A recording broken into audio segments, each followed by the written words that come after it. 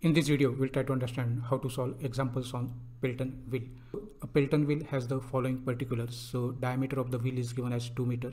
Bucket deflects the jet by 165 degree. So phi will be equal to 180 minus 165 that is 15 degree.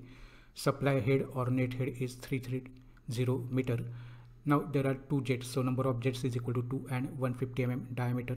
Coefficient of velocity is 0.98 relative velocity of the jet is reduced by 16%. So 100 minus 16 that is 84%. So VR1 is equal to 0.84 times VR and we have to calculate the speed of the turbine in RPM for maximum efficiency. So this is the important part. We have to find out the value of the speed, bucket speed or speed of the turbine for maximum efficiency condition and power lost in discharge. So at the exit, what will be the power lost?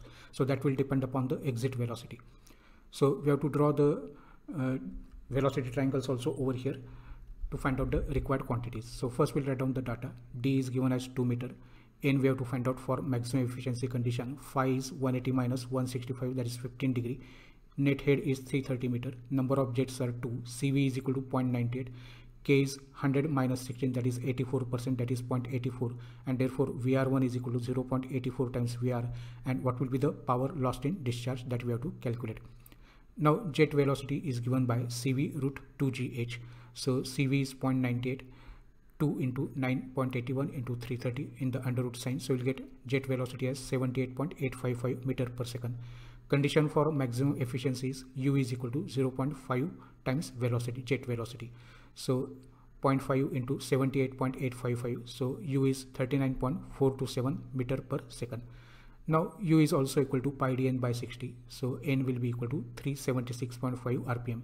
So this is the velocity, this is the speed of the turbine for the maximum efficiency condition. Now we have to draw inlet and outlet velocity triangles to find out the various other parameters. So let us draw both these particular triangles over here. Now in case of Pelton wheel, the jet is horizontal and therefore inlet triangle is nothing but a straight line. Now as the jet is deflected by 165 degree the the value of phi that will get will be 180 minus 165 that is 15 degree. So now you can see from the inlet triangle velocity absolute velocity of the jet is equal to velocity of the whirl that is the this is the blade speed.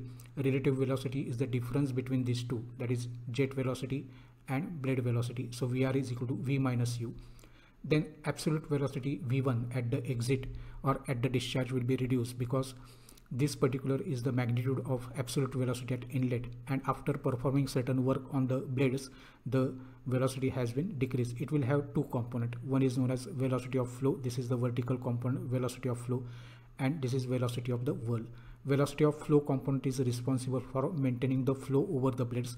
Velocity of whirl is responsible for rotation of the turbine wheel. So difference between this v1 and u1 is the is this particular that is vr1 and phi is the blade angle at the outlet or it is also known as the clearance angle. This particular triangle we'll consider first. So this is the right angle triangle that we are considering. So we can say that vf1 is equal to vr1 sine phi and this particular horizontal component is vr1 cos phi. So vw1 will be equal to u1 minus vr1 cos phi. So that we have written over here so VW1 will be equal to U1 is equal to U in case of Pelton wheel. VR1 is equal to K times VR into cos phi.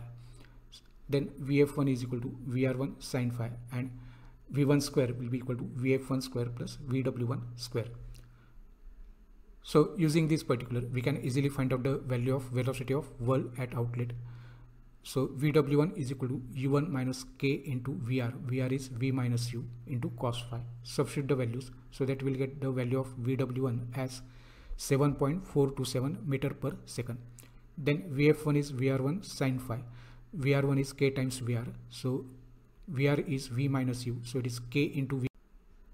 Now we'll find out the value of VF1. VF1 is equal to VR1 sine phi that is K into VR into sine phi value of VR is V minus U into so K into V minus U into sine phi. Substitute the value K is 0.84, V is 78.855, U is 39.427 into sine 15. So you'll get the value of VF1 as 8.571 meter per second.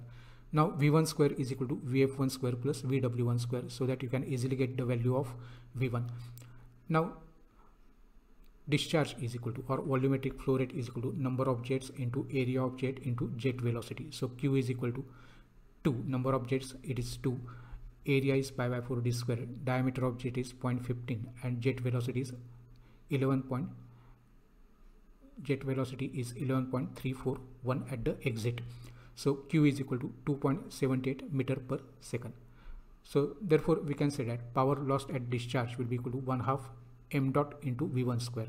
So m dot is rho into q that is volume into density or volumetric flow rate into density or discharge into density. Rho is 1000 q is 2.7855 and v1 is 11.341 square. So this is the power lost at, at so in this way we can solve the example on Pelton wheel thank you very much for watching